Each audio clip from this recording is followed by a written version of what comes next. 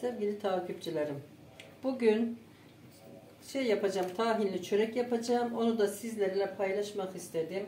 Önce bir su bardağı sütümüz var. Sahurda bu da güzel oluyor. Bir su bardağı sıcak suyumuz var. İkisi de sıcak olunca güzel oluyor. Şimdi torunum da mayasını dökecek. Hadi dök bakayım çok istedi. Dök. Hı. Bir pakette mayamız var. Bunları şöyle bir karıştıralım da önce. Bir çay bardağı sıvı yağımız var.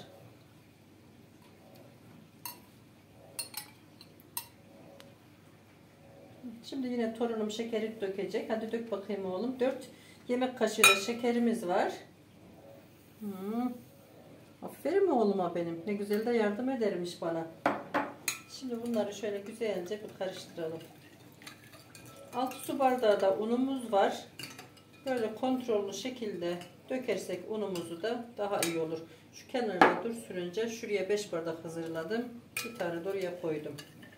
Çünkü bazı unlar belli olmuyor. Kimisi az gidiyor, kimisi fazla gidiyor. Onun için böyle azar azar dökersek daha iyi olur hamur işimiz.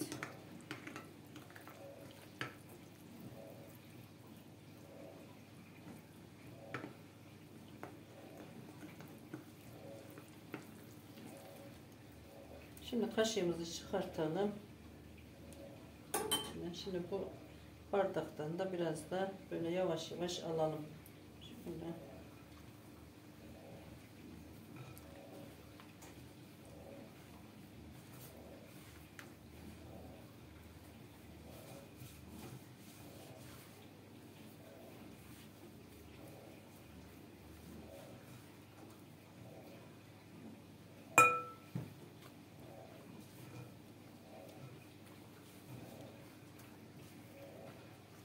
Şimdi 6 su bardağı unumuzun hepsini koydum.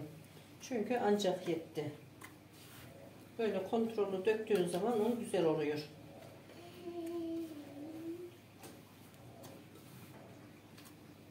Şimdi hamurumuz bu şekilde hazır. Diğer işlemlere geçeceğim şimdi. Şimdi hamurumuzu masaya alacağım.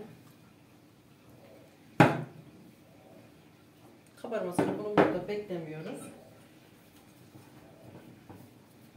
10 eşit parçaya böleceğim.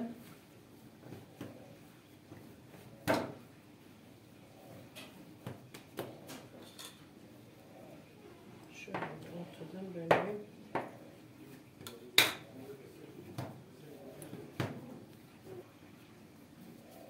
Şimdi bu şekilde 10 eşit parçaya ayarladım.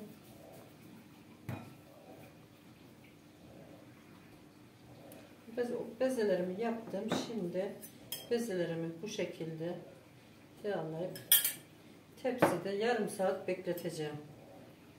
Burada yarım saat dinlendikten sonra diğer işleme geçeceğim. Şimdi bezelerimi de bu şekilde yağladım. Yağın içinde de biraz margarin var, biraz sıvı yağ var. Tereyağıyla da yapabilirsiniz. Benim de evde streçliyordum her zaman. Streç kalmadığı için böyle poşete koydum. Siz de ister poşete koyun ister streçleyin. Bir yarım saat bu şekilde dinlenecek. Şimdi hamurumuz da güzel kabardı böyle dinlendi. Ben de şimdi tahinimizi hazırladım. İçine 100 gram margarin koydum. Yarım çay bardağı sıvı yağ koydum. Bir buçuk çay bardağı da e, su bardağı da tahin koydum. Bir çay bardağı şekerimiz var. Bu şekilde karıştırdım. Şimdi diğer yapım aşamasına geçeceğim. Şimdi birer tane alalım hamurumuzu. Diğerleri kurumasın. Bu şekilde.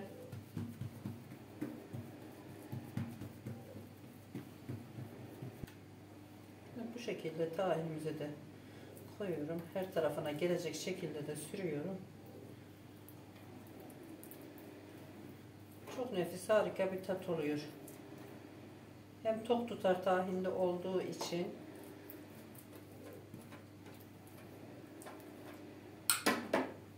Şimdi bu şekilde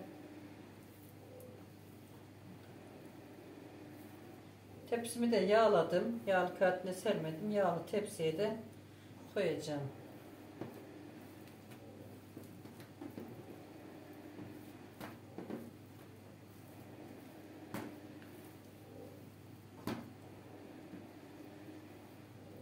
Çok sıkıştırmadan bu şekilde koyuyorum tepsiye.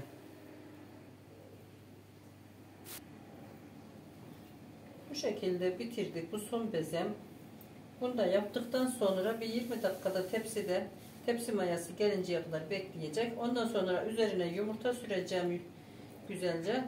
Üzerine ister bağlı ister ceviz de koyabilirsiniz. Öyle de pişirebilirsiniz. Ondan sonra ben fırına bir süreceğim. Fırından çıkınca da görüşürüz inşallah. Tahinli çöreğimiz bu şekilde hazır. Bir de göstereyim ben size. Bakar mısınız ne kadar güzel oldu. Tel tel tel açıldı. Harika gözüküyor. Ben birazına ceviz koydum bu şekilde. Birazını sade yaptım. Siz istediğiniz gibi yaparsınız. Yiyenlere afiyet olsun. Kanalıma abone olmayı, beğenmeyi unutmayın. Bir dahaki videolar için takipte kalın.